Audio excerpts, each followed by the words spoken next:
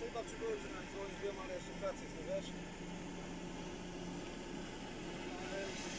Za, za, za półtorej godziny będę domu.